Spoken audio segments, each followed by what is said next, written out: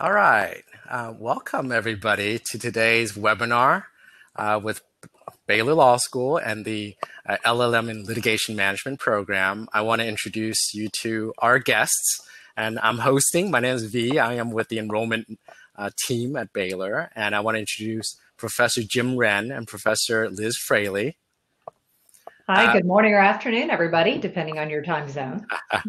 so, these two are the you know, phenomenal leadership team that have created this program. And we've had a year of, you know, uh, candidates in the first inaugural class now. So we're super excited to come back and talk about their experience. So I'm going to take us through the agenda for about a half hour. We're going to talk and have a conversation about this program. And then for 15 minutes or so, we're going to have a Q&A session. And so you'll see that um, you know, now that we have a year ago, we had the concept, the curriculum built out, but we didn't have people. So today we're really going to talk about the people, the candidates, the brain trust, and answer the critical questions that uh, perspectives, uh, you know, applicants are asking all of us, are asking me every day. So as I, you know, I'm introducing this program to everybody, uh, I, I really want to take this, you know, kind of webinar to answer a lot of those questions and to get the insights from Jim and Liz about this program from the inside out, from the inside of the classroom with the inaugural class. So, uh, with that said, I am going to go and to the next slide and really talk a little bit about um, you know the inaugural class. So you'll see that the average years of experience has been phenomenal. We've had uh, 21 candidates with over 15 years of practice experience as they uh, are participating in this program from different 15 different states six from, six from texas four california uh, two in florida two from pennsylvania uh, nine females 12 males a third of whom are in-house counsel attorneys. One the other third outside in plaintiffs counsel and one third are uh, consultants they bring a governmental perspective, and we even have a law school dean in our class. Uh, some companies that they're from Whole Foods, Amazon, Walmart, Merrick Bank, Travelers and Shelter Insurance Companies. Even uh, from the governmental, we have a state of Tennessee uh, candidate, and uh, Gray, Reed, and McGraw LLP, and many more uh, companies and law firms and consultancy. So we have a super diverse class of uh, of our inaugural class candidates. So I'm going to you know hand it over to Liz and Jim to talk about kind of how it's been going and maybe talk a little bit more about this inaugural class and highlight how they what's been the experience for them. Thank you, V. Um, we were really excited by this inaugural class you know we we cast a net into the pond and didn't really know what we would scoop in and we felt like we really hit the mother lode because we have got a group of candidates who are diverse in every way that we could hope. They come from different backgrounds, they bring different insights and experiences, and we really were so pleasantly surprised at this diverse group. And I think that has played out really well in how they interact, not only with the professors and brain trust members, but with each other. Because, you know, I, I remember last year at this time when we were talking about this, we talked about how we hoped that we would come at issues from different angles. And that has very much come to fruition because the inside counsel are talking about it differently from the plaintiff's attorney. Um, candidly, and thank you, Mary, for being part of our inaugural class. I didn't think we'd have someone from the state of Tennessee involved, and that's been a whole new layer. So, from my perspective, I just couldn't be more excited about the diverse group of interesting and interested candidates that we've had this first time. Yeah, I think the diversity has not only been in terms of the uh, perspectives that is inside counsel outside counsel plaintiff counsel insurance counsel et cetera but also in the diverse uh, range of experience uh, all the way from two to three years experience up to 30 plus years experience and everything in between and that has mm-hmm. also i think brought a lot of diverse perspectives into this that have been very valuable so we're really hoping that that will continue to expand. And I think we have um, uh, responded to that by targeting interests for the different candidates, things that we didn't know we were going to want or need, but that's expanded our brain trust, that's expanded the programming for the residential session. And so it's been nice to have a vibrant living program that's been able to evolve and grow to meet our candidates' needs. Um, and one nice thing about having a group of 20 or so candidates, we can be very nimble and responsive to what they are really interested in learning while keeping it in the bigger framework of the core needs for somebody who's going to have special expertise in litigation management. Great, great. Well, thank you. So, the, the, many of the, the, the prospective candidates for the second class have been asking, "Wow, so who are they?" So we learn a little bit about who they are, they are, and their background. So, even I'm super curious what kind of conversations are they having inside the walls, right? We have counsel from Walmart, we have counsel from Amazon, we have insurance companies, banks, you know, inside outside counsel. So, do you have some stories? Are you love to share insights and perspectives, unique perspective that's kind of, you know, kind of bringing together insights and learning for for everybody? Well, there are many. Um, it was very fun during the residential session to have them all together. You know, distance learning is really convenient if you're a busy practicing attorney, no matter the, the venue in which you practice, but you give up that being in the classroom together all the time. And so the first thing that I think was so neat for these candidates was that when they got on campus, those people you'd been in sessions with, maybe posting on message boards, exchanging perspective, they were all here in Waco. I was helpfully in a trial for part of it, and I'd get these hilarious pictures at night after my trial of the whole group of candidates out maybe having dinner or whatever, and they'd be snapping pictures, texting them to me, saying, Wish you were here. And that was to me a great piece of the program to see them bonding and enjoying each other's company. Um, I think from a collegial perspective, there has ramped up through the first two trimesters the amount of time that they serve as resources for each other it is really common that we hear two or three candidates who got together and were talking about a given situation or who have proven to be resources for each other within their work. And that's been our experience as well. I had a very cool experience with Aaron Mutnick, um, one of our candidates, where the topic of one of my first trimester classes, proving and attacking damages, was something that he got to put to use in an incredibly complex piece of litigation he was handling. And it was really validating for me, and I hope for him, that we could work through what we had talked about in class, the processes, apply it, and really have a great one on one, real world, real life situation um, and he got the case resolved, which was good for him and good for his company. So that was a, a very neat hands on experience for me. There's a lot of communication that goes back and forth uh, on a uh, at least weekly sort of basis, and really much more than that. The candidates are talking to us every week. We're having synchronous sessions uh, we're also having uh, feedback conversations. We, in fact, we had just one of those this morning. We have one every Tuesday morning. So we're getting lots of feedback on a very uh, regular basis. But they're also talking to each other. Uh, Liz was talking about the effect of that.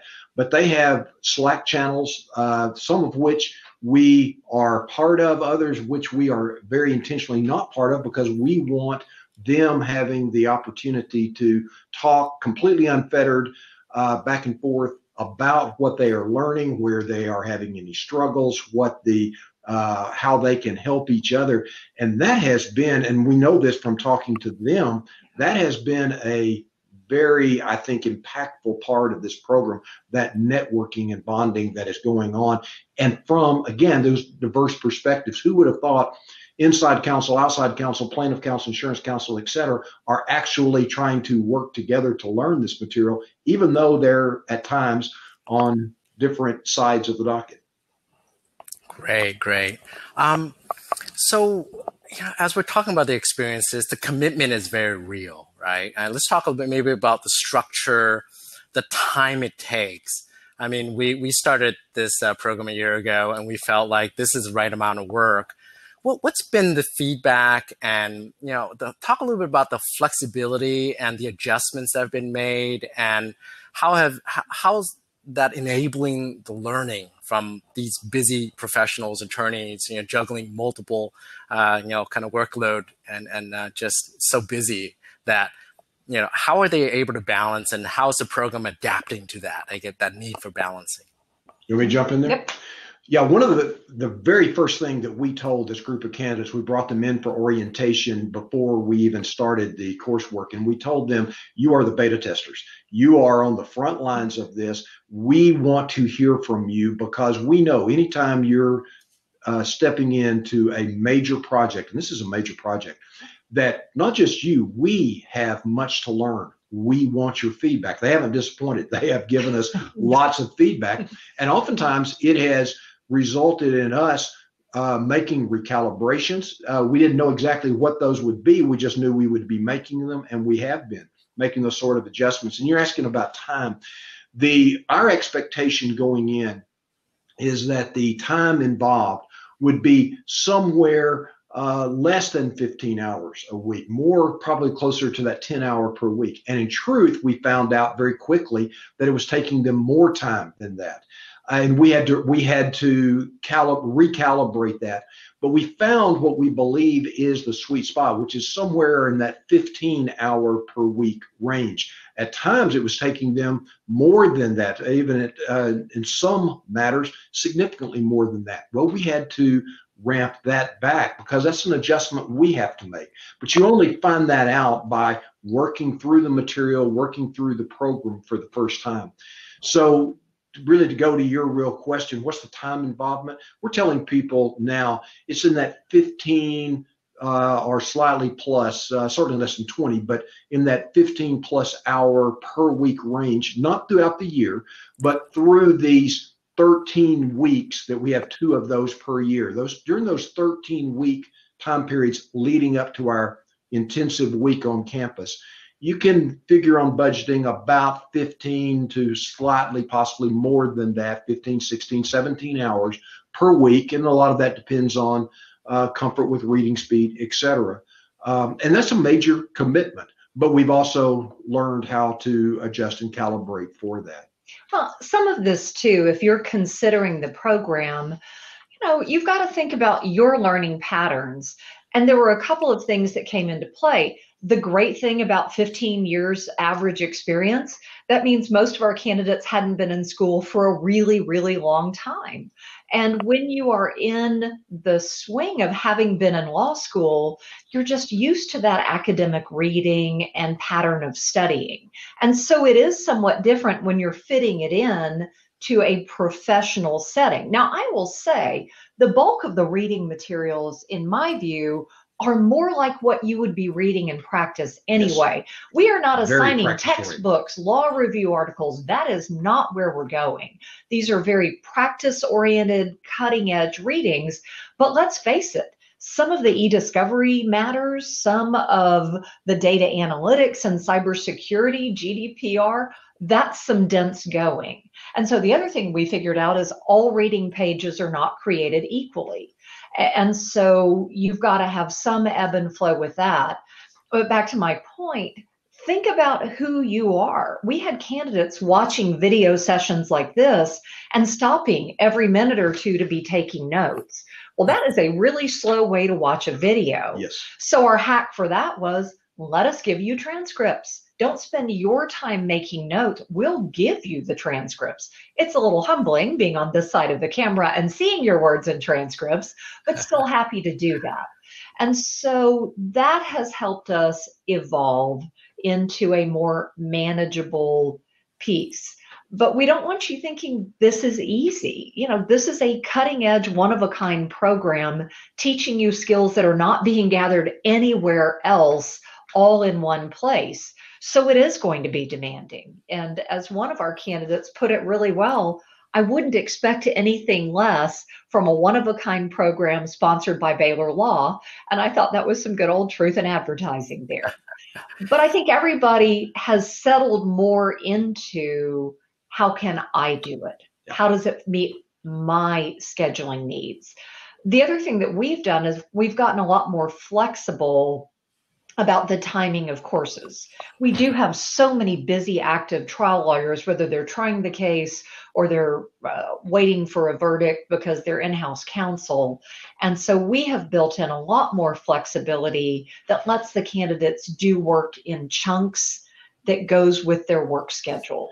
Yeah, V, as you well know, we have uh, moved to a self paced uh, type of schedule because we recognize that for these kinds of busy professionals, not every week is created the same. Some weeks, if they're particularly if they are in trial or a heavy discovery schedule or other type of matters are coming up, they don't need to be required to turn in the same amount of work or even any work during that week if it can be done in a future week. So what we've done is to move to very quickly to a self-paced sort of program where the candidates are figuring out, okay, here's the work that needs to be done, and it's a matter of calendaring it over that 13 week time period leading up to the residential session. As long as the work is getting done, we're great with it. And uh, we have learned very quickly these are trusted professionals that uh, they are great to work with. They get the work done. Yeah. And we've built in catch up weeks. Yeah. You know, that, that 13 weeks doesn't comprise 13 different modules for every class. We have intentionally built in catch up times where if you've gotten behind, there's a dedicated week where there's not new material coming out. We've hit pause to let you absorb. And particularly for the classes where the concepts build, we just think that's crucial so that the candidates really build in that good understanding, really immerse in it um, you know, this is not a class where you're supposed to just whiz through the videos. We really want them absorbing it, and I think it's helped. No question. Yeah.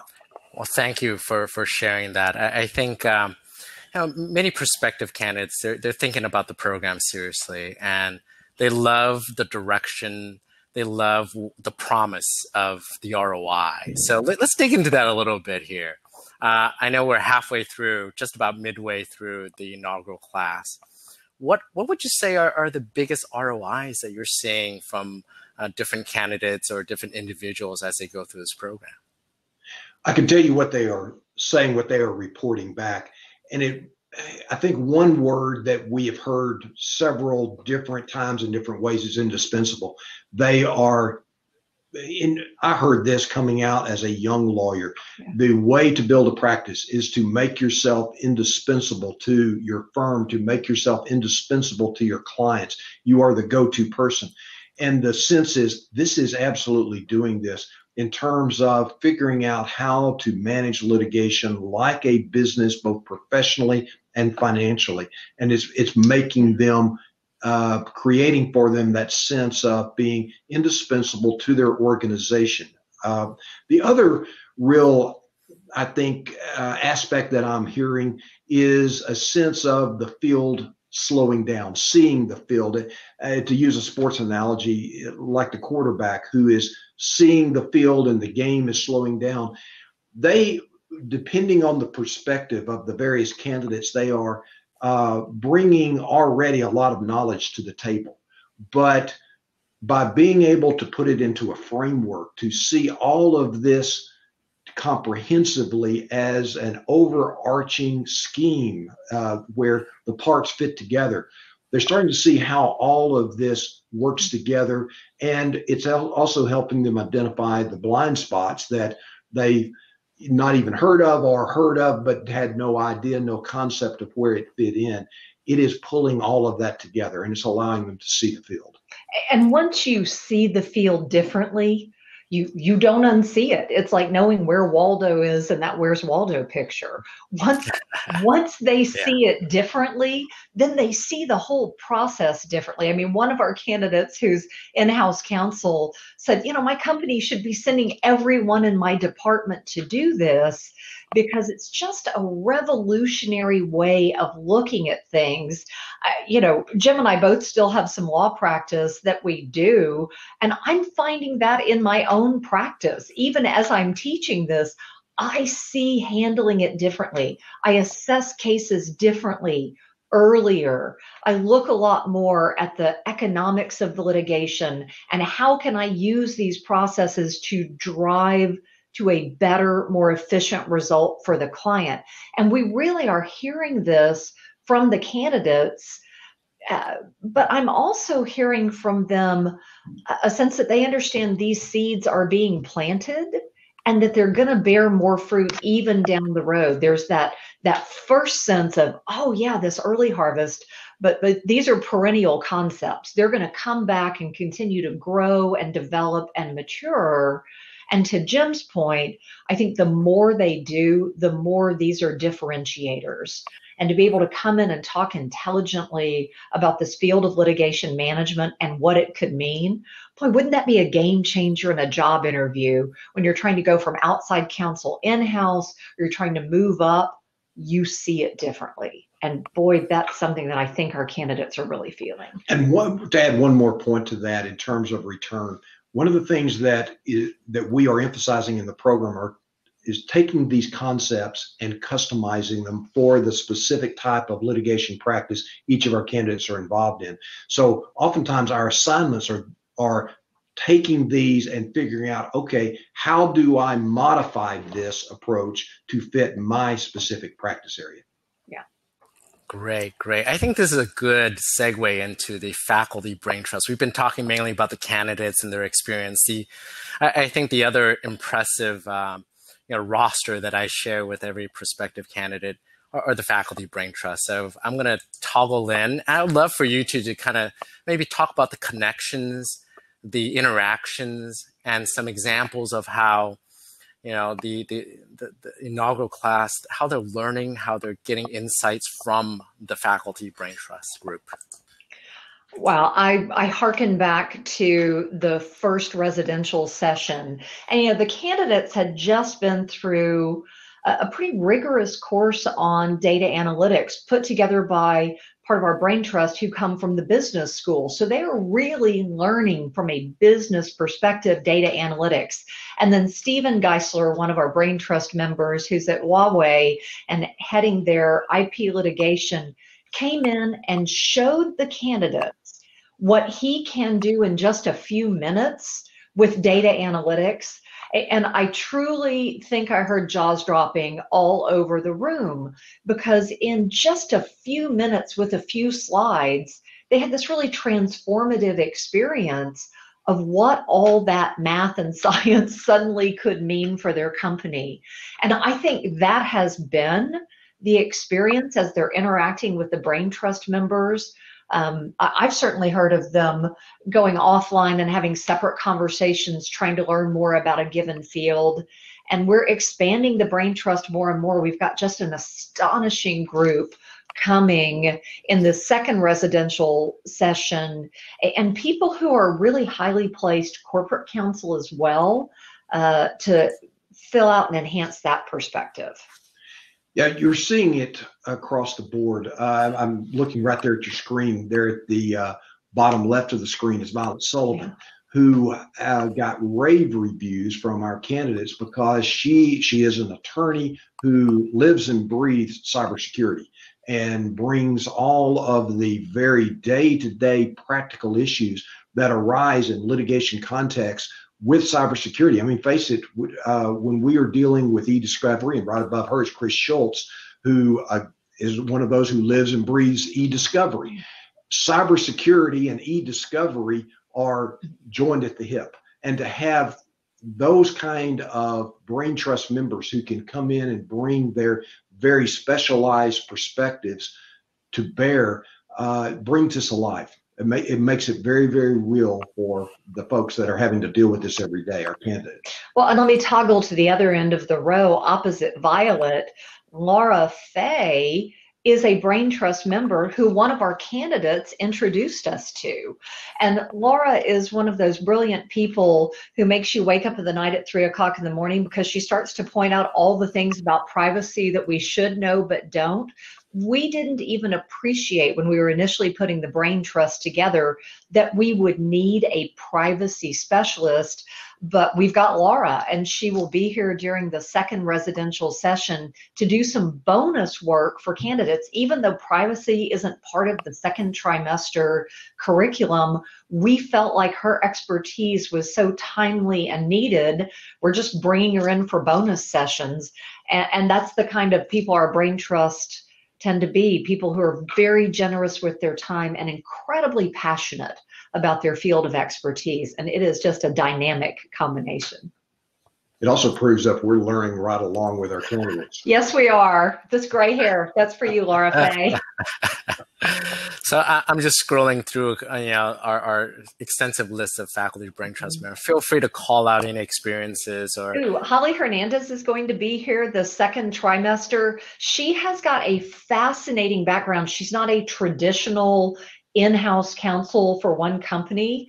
Um, I'm not going to spread it too much, but she and Keith Calcote, who were on the previous page, both have very interesting in-house counsel positions, and they're going to be there actually to workshop problems with the candidates so that they'll be group solving problems, and then they'll have to run it past this panel of in-house counsel to help them see what did you miss? What did you think about this? Here's how if you were presenting it to me um, so it's not just panels with people talking at you it's problem solving with your brain trust experts right there. We think that's where the really in-depth practical learning takes place. Great. I, I think um, let's talk a little bit about this summer research project and how that connects a candidate with a faculty brain trust member to work on something to get it published. So let's, I want to hear from you, you all, or the two of you. How does that work and have people already start thinking about topics and uh, let's, let's focus in on that a little bit. Well, first of all, one of our very clear stated objectives of this program is to not only provide a direct return on investment within an individual organization or firm, but we want to create thought leaders, national thought leaders. And a key part of that is actually putting these candidates out there in publishing situations where they are tackling some specific aspect, uh, typically an, uh, a topic that is already directly related to the need of their firm, their organization, but that uh, deserves a deeper dive. And so, what we are doing as part of this program is providing the resources. We actually provide research help. We uh, provide our uh, senior JD students as just additional research uh, a resource for that.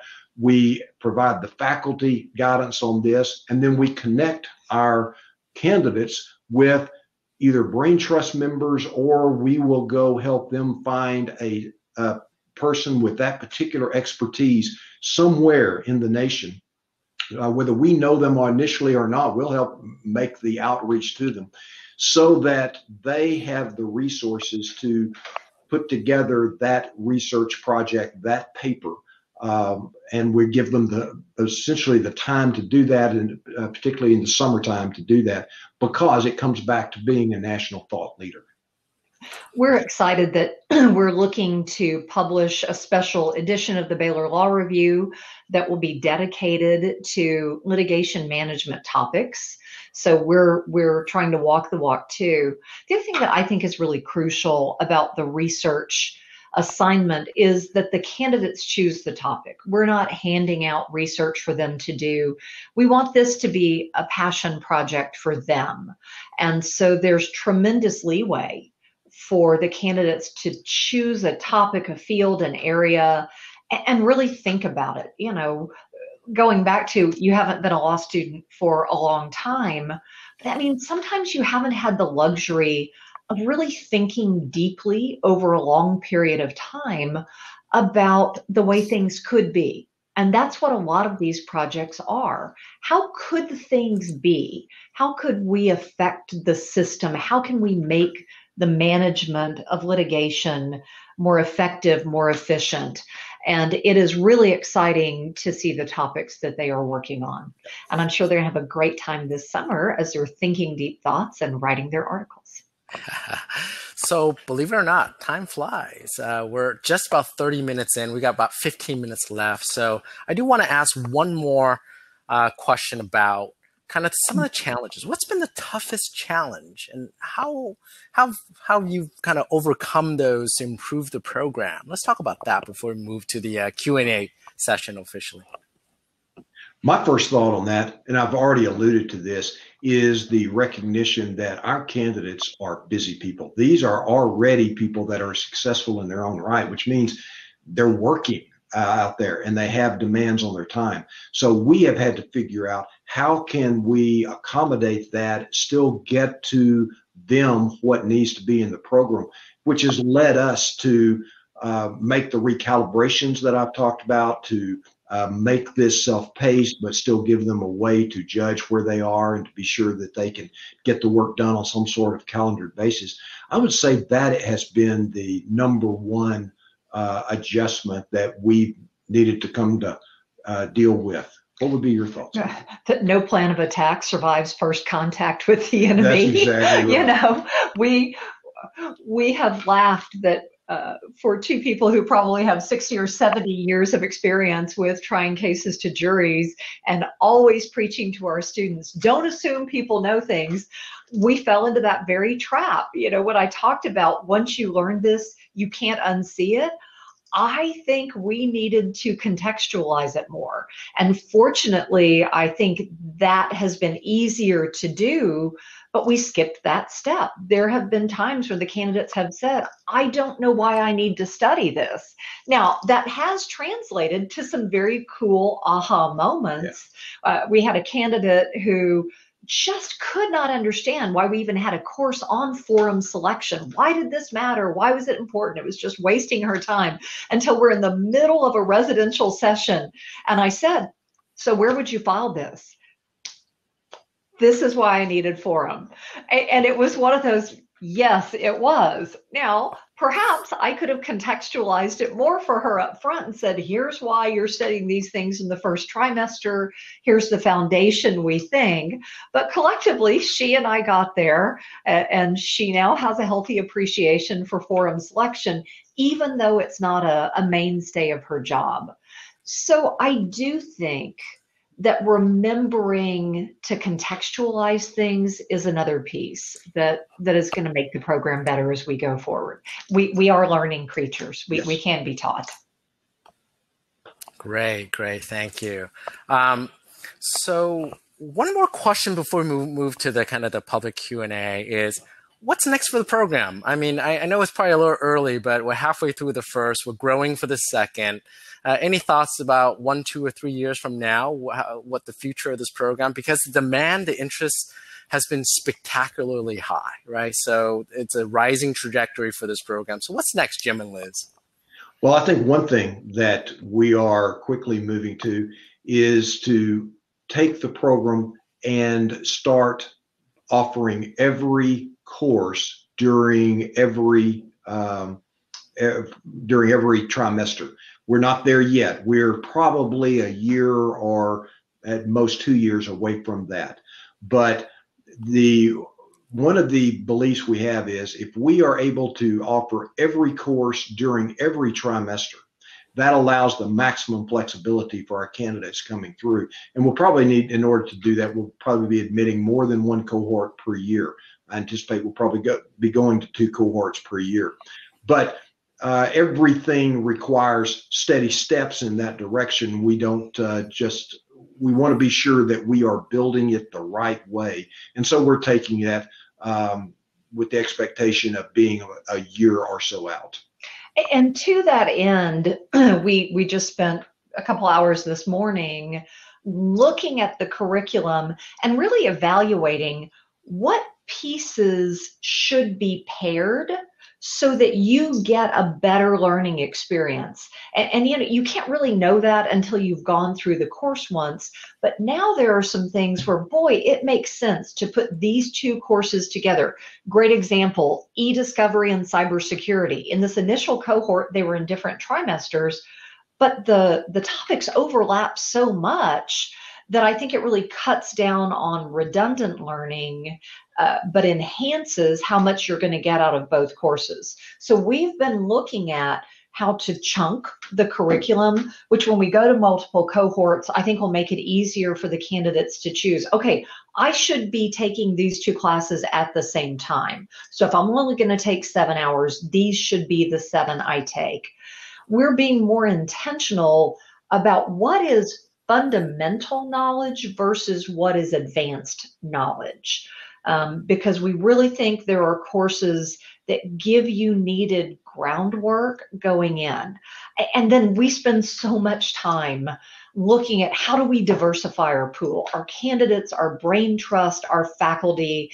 And I don't mean just generally how we think of diversity in terms of gender or race, but background, approach, who's doing what? How are people who are thought leaders in the field approaching these issues?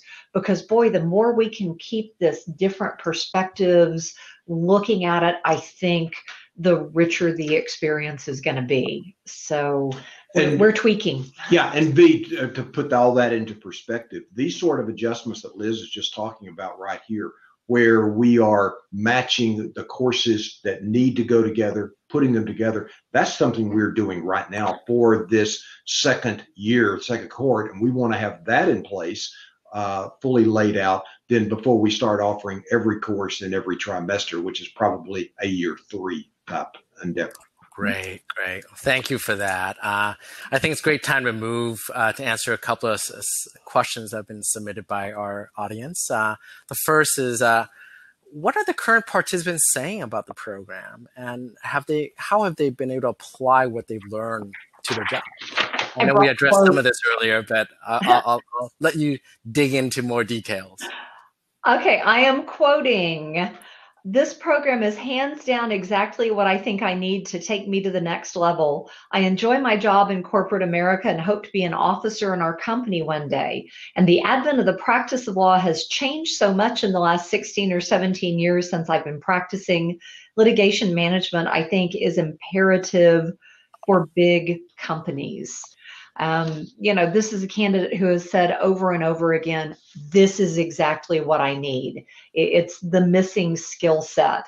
Um, I, I, love this one too from one of our candidates. The law doesn't live in books, it lives in conversation and it lives in arguing. I love the law. And so coming here and doing this program has brought back a love for me, uh, which is sort of a nice little love note to our LLM program. Uh-huh. Um, we've gotten comments about the brain trust and how, for what Tony credentials these people have, how incredibly generous they are with their time and expertise. I mean, they they are here out of that same, I think, love for the law and belief that we can make the system better. Um, they're they're sure not doing it for the money, and so it is really fabulous, I think, for our candidates to see how generous they are with their time. Absolutely. And it's very, you know, I, am excited to talk to prospective candidates every day because you could tell that this program is created with passion, innovation, a sense of love for the law. I mean, this is a, a great conversation to be having. Yeah. So, the, um, I would add one more thing to that. That passion you're talking about comes through from our candidates as a class. Uh, even as in the very beginning, as they were talking about, holy cow, this is taking more time than I anticipated, they were simultaneously saying, but this is great stuff. We've got to figure out how to get the time right, which is what we have focused on. But the the passion that they have had for this program has been phenomenal. And I'm very grateful for that. Absolutely. And we just got somebody um, who, uh, Aaron, uh, asked this question Hello, I am the current national director of legal ops for a large company, but I am not an attorney. Are there plans to retool this program into a master's or executive master's degree? Uh, you know, for legal and IT professionals that have demonstrated demonstrated experience in this field that often com- uh, compete with attorneys for these high level positions? Thank you. What that, a great question. Yeah, that is yeah. a great question. We've actually spent some time talking about that. You're seeing the rise of uh, legal ops uh, organizations like CLOC, where there are non attorneys that are stepping into some extremely vital roles. And yes, we have talked about that as being a possibility of where a branch of this program might ought to go in the future. But at this point, we're back to that one step at a time sort of thing. Our focus is, since it is on specifically litigation, it is on the attorneys that are managing litigation first right now. Would that be something else that we would look at down the road? Yeah, I think there's a very good chance of that, but one step at a time. And even without a full master's program, we have talked about whether some of these modules might lend themselves to a certificate type program. Um, and that would be something that might be a nice baby step before we go to full on masters because you're right the the field is evolving and it's not just folks who are licensed attorneys who are handling this i think too with our approach towards trying to get different perspectives that might be a natural um, outflow of what we're doing to get non-lawyer professionals talking about the processes. Yeah, we want to go where this specialized field is naturally taking people. And if you have thoughts, email us. We would love to hear specifically from your perspective. Yes. Yeah, and and folks who are listening in, um, Jim and Liz, they are serious about that. They are accessible, available. They will make time and time again out of the busy schedules to have informational sessions, to make connections, to speak with you about your interests, and just you know have a great conversation about litigation management. Honestly, and I've I really enjoy facilitating those, and so I do want to kind of encourage everybody to reach out, ask questions um, we're very open here, and this program is growing in a phenomenal way. And so we would love to engage you and kind of, you know, answer any and all questions you can you have for us about this program. So we got about three minutes left. So, Jim, Liz, any other you know, highlights or, or comments? Uh, we've, I think, addressed all the FAQs that I've have uh, for for this session. So, with the last few minutes, I'd love to kind of pick your brain and any kind of uh, final thoughts on uh, you know kind of this this second class that we're looking to build? You know, I would love to see us be even more diverse. I think there are so many interesting ways that these tools are getting used, and the conversation becomes really powerful when you've got different perspectives. You know, one thing that I think our candidates have done beautifully, and this is particularly important in these times where civil disagreement is perhaps an undervalued skill, despite the very different backgrounds and perspectives. They are incredibly respectful of each other, of their ideas, and that has created an environment where you can respectfully agree to disagree. You can have different viewpoints. You know, a number of the assignments are giving input on each other's work, ideas. Um, one of the things that they're in the process of doing right now is commenting on each other's sort of research paper outlines. And to do that in a way that is constructive and supportive, I think really facilitates a growth mindset, which is what we're looking for in candidates here. How big can you dream? How much can you grow? That's what we're trying to do here. Yeah. And it's neat seeing the back and forth between yeah. them and the sharing of resources. Great, great. Well, I'm going to bring up one last slide here to kind of provide any kind of information at the end. Uh, anybody that wants to you know, know more about the program, learn more about program, feel free to go to our website, email, call. I'm available. Jim and Liz are available. Uh, we're right at that, you know, 44 minutes in, so we did great. Thank you. You you two have been phenomenal, Liz, with your time, and Jim, just with your insights, and uh, you know, look forward to a growing second class and. Uh, you know, thank you uh, for, I think we have 36, you know, registrations. I think at one point counted 17 to 20 people actively listening in. This will be recorded. So everybody who's registered will get a link to watch this at, at, um, you know, at a later time. And we did a a, a, more overview webinar last year. So anybody that wants more of a general overview of the program can watch that one. And this one is much more focused on the candidates, their experience in the first year, the Brain Trust faculty, more of a deeper dive into the inaugural classes experience. So thank you. Uh, with that said, uh, thanks again, Liz and Jim. Thank you, Appreciate it. All right. Bye-bye, everybody. Bye. Bye-bye.